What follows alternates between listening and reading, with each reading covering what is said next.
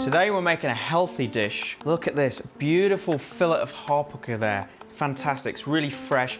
But instead of frying it or deep frying it, we're gonna steam it. It's a great way of getting all these flavors, fresh flavors into your fish and keeping it super healthy as well. So what I'm gonna do, I'm gonna steam it in this bamboo steamer. So these are great, you can get them from Asian shops, pretty cheap. Just goes like that, goes over a pot of water. You wanna bring the water up to boil, turn it down to a medium heat so you've got that constant steam and that's gonna steam our fish. I'm gonna just do some minimal flavors on the fish, get it cooked, let it rest, and then I'm gonna make a really simple soy dressing using this good Chow soy sauce.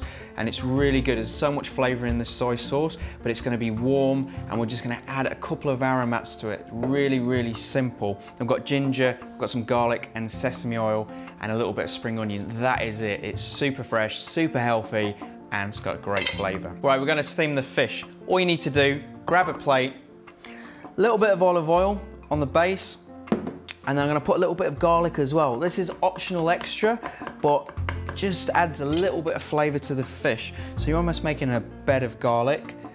Put the fish on top. Another little drizzle of olive oil over the top. And just a small amount of soy sauce just on there. And that's gonna season the fish. And we're just gonna rub it all over. And that's it. Bring it over to the uh, steamer, pop it in, make sure it's steaming, lid on, and depending on the thickness of your fish, it's gonna take anywhere between sort of eight and 12 minutes, maybe a little bit more if it's a really thick piece. Great um, way of cooking, steamer in the basket, really simple, works perfectly well with fresh fish, and you can do it on any fish. Snapper in there, tarakihi, salmon, anything you want, it's really good. Whilst the fish is steaming, all you wanna do, square off some ginger, nice julienne again, just these really fine matchsticks. And we're gonna make this warm dressing with soy and oil, but we're gonna heat it, we're gonna fry the ginger in there so the oil becomes a ginger oil. We're gonna split it with some soy sauce, finish it with some coriander, which we're just gonna roughly chop, and some spring onion as well. But instead of just slicing this, we wanna cut it into nice sort of couple of inch batons, and we're gonna julienne that as well. So it's gonna be really fine. So it's gonna act as a, as a texture and a garnish to our dish. So use the white and the green pot.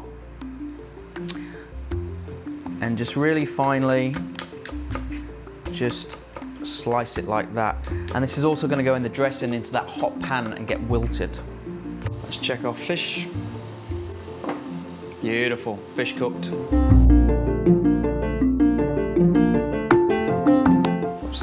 Oil in the wok. Get your oil hot. Ginger. Stir fry that, 30 seconds. Spring onion. Sesame oil. Soy sauce. Coriander. Good to go.